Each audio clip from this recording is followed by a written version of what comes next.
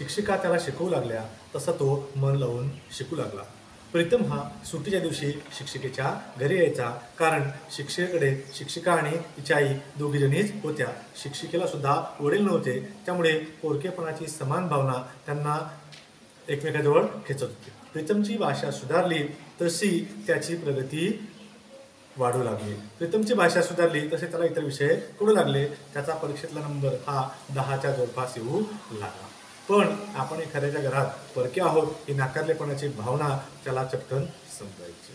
शिक्षिकेच्या चार शब्दांनी प्रेमळ शब्दांनी त्याला संजीवनी मिळायची. संजीवनी मिळणे चेतना मिळणे नवीन उत्साह तयार होणे तशी त्याची प्रकृती सुधारली.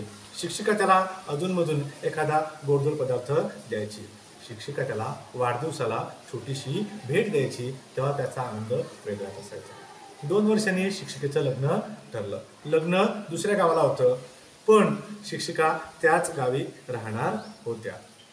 मुलांनी छोटासा कार्यक्रम घेऊन त्या ठिकाणी शिक्षिकेला समारंभपूर्वक केळवण केलं. वर्गातला मॉनिटर उभा राहिला. त्याने मुलांची नावे ओळखली. ज्यांनी ज्यांनी पैसे दिले होते त्यांचे. अर्थातच प्रीतमचं नाव त्याच्यात नव्हतं. आणि प्रीतम हळूच उठला आणि प्रीतमने एक पुडकं पुडकं म्हणजे एक छोटा बॉक्स छोटा डबा हा शिक्षिकेच्या हातावरती ठेवला आणि म्हणाला बाई हे माझ्या स्वतःच्या वस्तू आहेत. त्या पुडक्यामध्ये शिक्षिकेने उघडल्यावरती त्या पुडक्यामध्ये दोन हैदराबादी खड्यांच्या बांगड्या होत्या. त्या त्यांच्या बांगड्यांचे दोन खडे पडलेले होते.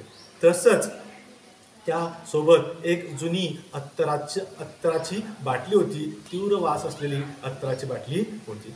शिक्षिकेने चटकन त्या बांगड्या हातावरती चढवल्या आणि अत्तर मनगटावर असलं जी मुलं हसत होती त्यांना दाखवत शिक्षिका म्हणाल्या बघा किती छान सुगंध येत आहे. आणि शिक्षिकेच्या या बोलण्यावर त्या मुलांना हो म्हणावंच लागलं.